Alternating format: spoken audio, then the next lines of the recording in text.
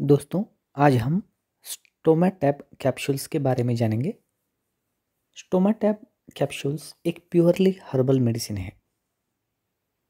स्टोमाटैप capsule का इस्तेमाल पाचन तंत्र से जुड़ी समस्याओं में किया जाता है, जैसे मुँह के छाले और आम्लपित्त जीभ के सूजन को, खुरदरेपन को और दर्द को कम करता है।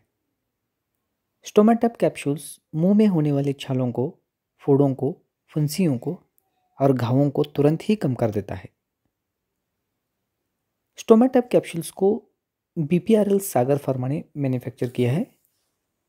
दस गोलियों का एक स्ट्रिप आपको पचास रुपयों में सभी आयुर्वेदिक मेडिकल शॉप्स में आसानी से अवेलेबल हो जाता है।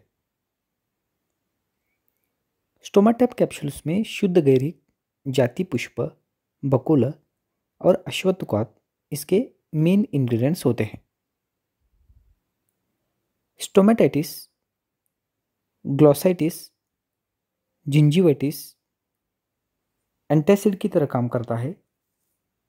जीआई ट्रैक्ट और यूरिनरी ट्रैक्ट इन्फेक्शंस में और डिसऑर्डर्स में इसका इस्तेमाल किया जाता है। मुँह में होने वाले छाले, फोड़े, फुंसी, घाव, जलन, सूजन और दर्द को कम करने के लिए किया जाता है। दिन में तीन बार एक कैप्सूल्स खाने के बाद आप इसे ले सकते हैं।